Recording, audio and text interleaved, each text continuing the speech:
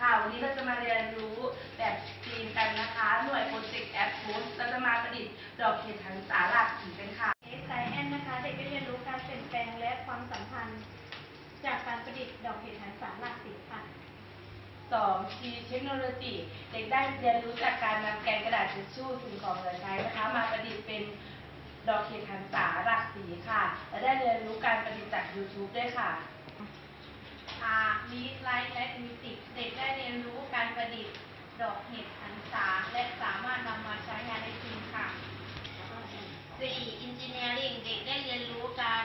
ประดิษฐ์ดอกเห็ดหางสาและสามารถนำมาใช้ได้จริงค่ะ 5 AR เด็กได้ประดิษฐ์ดอกเห็ดหันษาและมีความสุขในการประดิษฐ์ค่ะ M Mathematics ค่ะ เด็กได้เรียนรู้ขนาดรูปร่างลักษณะของเห็ดหันษาหลากสีให้สวยงามค่ะ อะไรไปอีกจะรอบดูค่ะ 7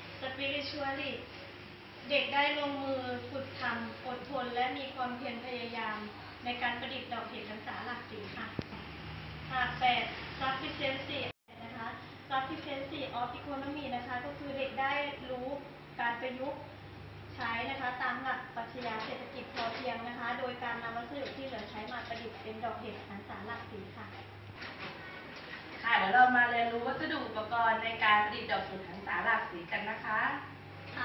ค่ะซีเซอรรไกรค่ะ color paper กระดาษสีค่ะ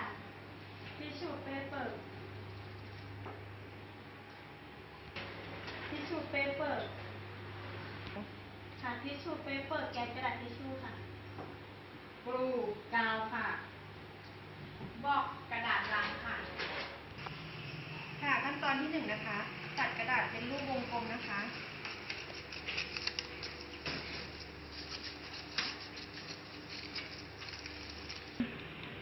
พับกระดาษ